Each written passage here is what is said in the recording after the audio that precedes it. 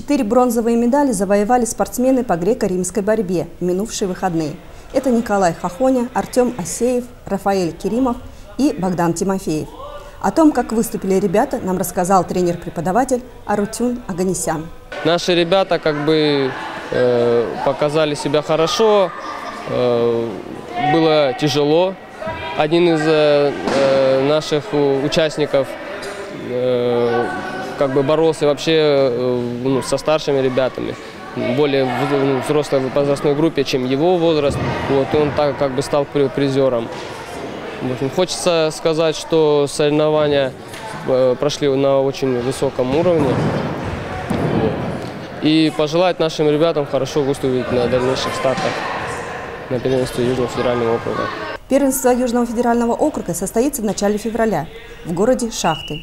В случае победы ребята смогут попасть в сборную Ростовской области и выступить на первенстве страны. Ивана Пажельцева, Юрий Друзякин, Азов Инфо Спорт.